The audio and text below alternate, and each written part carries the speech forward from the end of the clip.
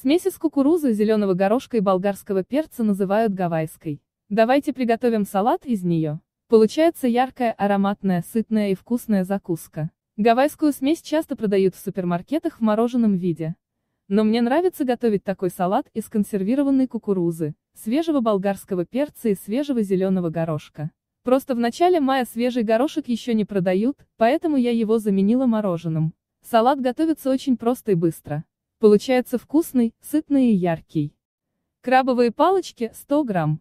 Рис 3 столовые ложки. Кукуруза 100 грамм, консервированная. Горошек зеленый 100 грамм, свежий или мороженый. Перец болгарский 100 грамм. Петрушка 10 грамм. Сметана 2 столовые ложки. Соль по вкусу. Количество порций 3. Подготовьте ингредиенты для приготовления салата. Крабовые палочки нарежьте кубиками и выложите в салатник. Добавьте консервированную кукурузу. Болгарский перец нарежьте небольшими кубиками и добавьте в салат. Петрушку мелко нарежьте и выложите в салат. Свежий или мороженый зеленый горошек проварите до мягкости, охладите и выложите в салат. Рис отварите. Для этого выложите его в кастрюлю с подсоленной водой в соотношении риса к воде 1-2. Варите 10-12 минут до готовности. После откиньте на дуршлаг, промойте кипяченой водой, охладите и добавьте в салат.